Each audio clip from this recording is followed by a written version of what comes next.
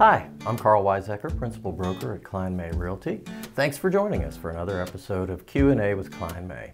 Today, our coffee that we're starting out with is something called the Summer Blend from the Reanimator Coffee Roasters. Don't know if Reanimator means high caffeine or not, but we'll give it a try.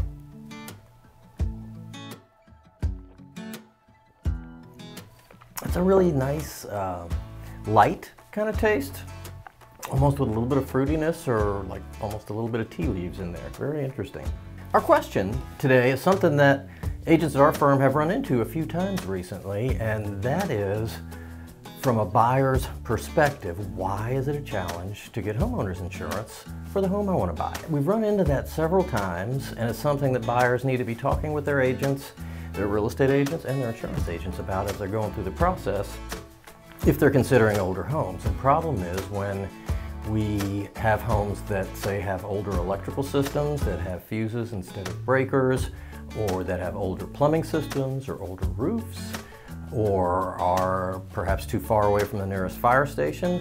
Some insurance companies will just flat out refuse to insure you. Some will insure you at a little higher price because of the higher risk, but some will just flat out refuse, and that's been uh, a frustration for a lot of our clients. So if you're a buyer in that situation, First step is ask your agent uh, who, what kind of uh, local real estate agents they've had good experience with, and then talk to those folks. Some folks represent just one company, some folks represent multiple companies, and can kind of shop your particular situation around uh, and find the best fit for you. But in doing that, it's really important to be working with a local agent that you can sit down and talk with and somebody that has some firsthand knowledge of the type of house that you're buying. If you'd like to keep up on what's going on in our market with new listings, click the link down below and that'll show you the newest listings for the last two weeks.